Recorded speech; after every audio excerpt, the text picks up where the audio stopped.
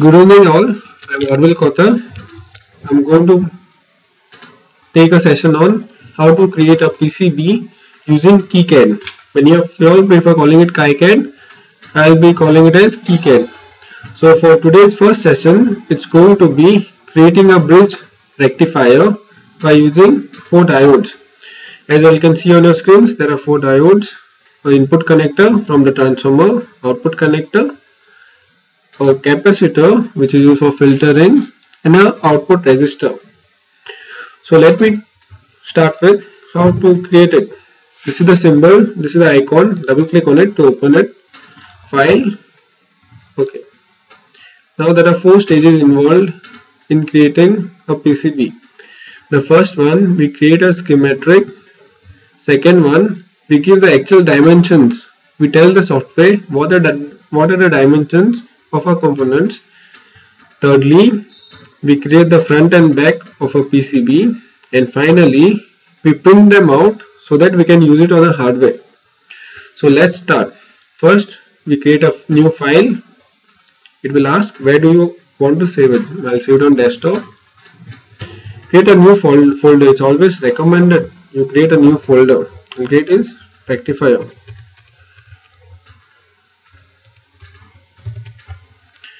Create a rectifier open it and then save it in your rectifier. It is REC I'll give it as REC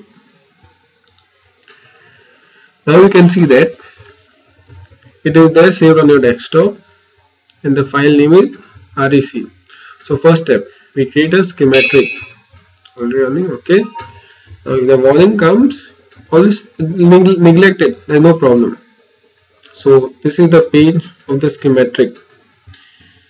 You zoom in and you see your file name is REC on a A4 size and it's created on this date. Now before starting there are certain things you have to keep in mind. To zoom in zoom out just use the scroll button. Now the dots that you can see this is known as the grid. To switch it on and off this is the switch or the button. You can use your measurements in inches or millimeters I prefer millimeters and now we start a schematic view. Now in the rectifier I, re I require four diodes. So I get it from place a component. I click on place a component then left click on the page. A dialog box opens asking you for the details. If you know the details you can directly edit else you select it. Select by browser. You can see KiCad provides a large amount of components. Now for a diode, I'll go to devices, click and there is a direct bridge rectifier available but I'll show you how to do it individually. A D for diode, you can see it's already come. So place it.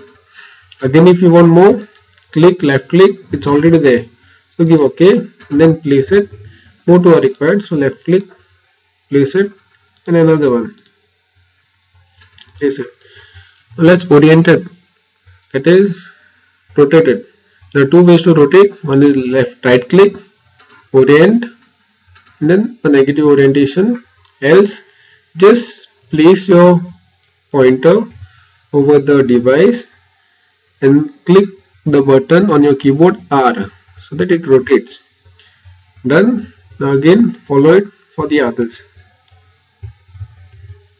now to move your components, place it, place the pointer over your device and click M on your keyboard so that you can move it and when you're satisfied with the position, left click.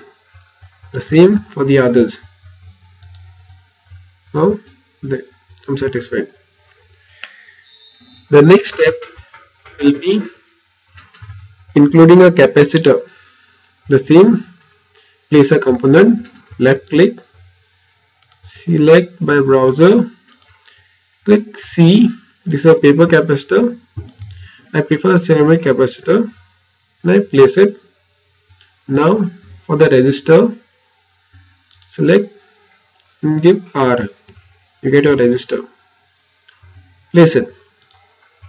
Now input and output connectors I require so same from components. Left click select my browser connectors I get from CONN press I want a connector 2 it is with two inputs.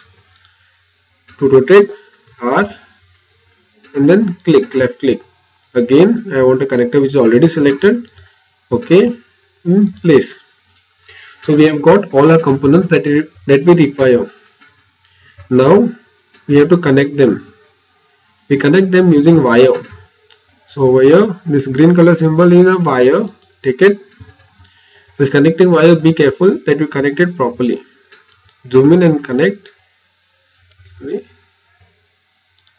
Connected there. One wire is connected. Similarly connect all the other wires in their respective places.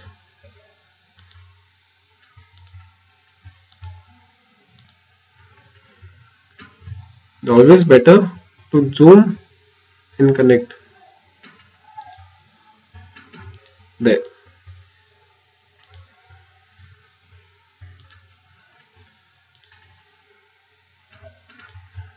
It's using while designing a PCB require a little bit of patience. There. I connected.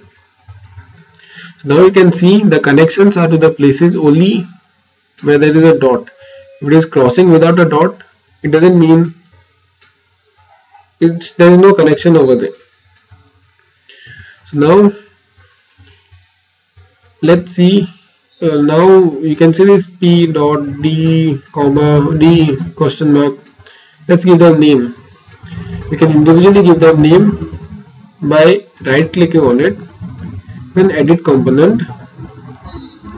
Okay then edit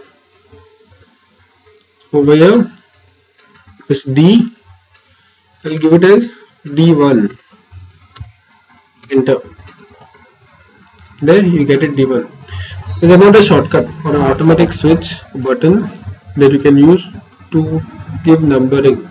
This numbering procedure is known as annotate. Annotate schematic. Left click on it. Annotation. But then give OK. Close. You can see that all your devices are numbered. Now let's check whether there are any connection error. For that, schematic electric rule check. Click on it. Test for error. There are no errors at present. One thing that I forgot to add is a ground. Select select all. Just press G for ground. To get a GND okay? Place it now connect it for connecting it's always better to zoom.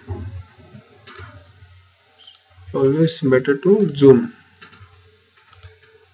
There connection is done. Now let's check for errors. Test. There you have one pin. Pin connected to some other pin but not pin to drive it. But no pin to drive it.